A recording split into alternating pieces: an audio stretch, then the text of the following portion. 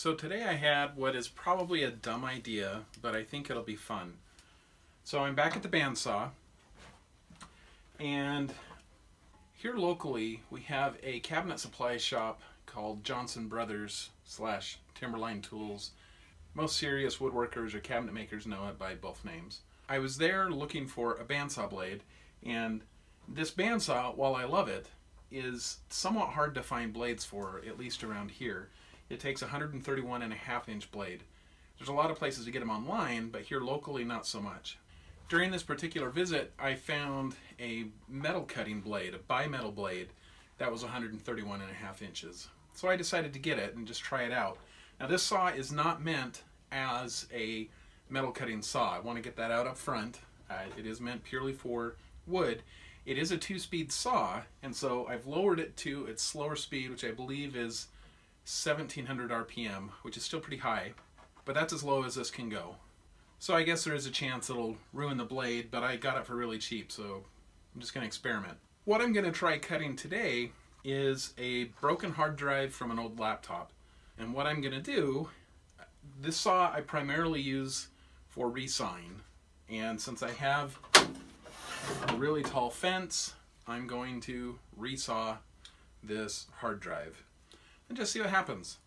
I already know what a hard drive looks like on the inside, but I think it, I don't know, I think it would be cool to see it actually get cut. So what I'm going to do is set up the blade to probably take off the lid plus just a little bit more and then and then set up the camera so that it's recording from this direction and I'll probably I'll probably do high-speed recording just so that I can play it back in slow motion in case anything cool happens. So anyway, let's partition this hard drive. Okay, that was stupid, but I'm a nerd.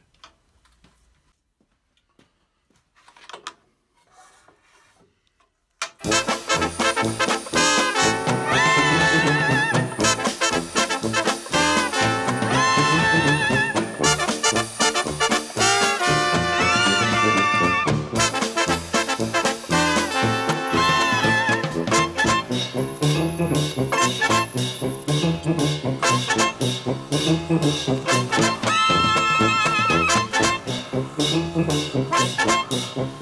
you.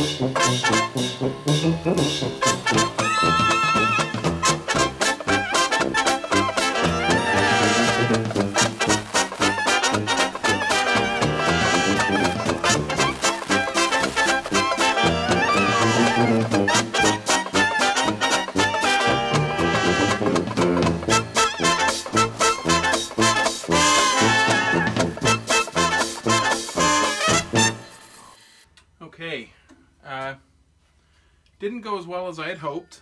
There were a couple directions I was not able to cut through, but I was able to get all the way through this way, and that included going through the motor. I don't know how well that's going to show up. My lighting's kind of weird in here. Made it through the motor, obviously through the platters. The heads were cut right off, so that was kind of cool. The blade has cooled down quite a bit. What I don't know is if the blade is still going to work. I don't know if this was if, if there were components within this that were too hard for this type of a blade. So I guess I'll just have to try again some other time with another drive. We'll see what happens. Obviously, don't do this with a blade that you care about that you want to use for wood because a wood blade, I am pretty sure, would get trashed by doing this. And this metal blade may not have survived either. We'll find out.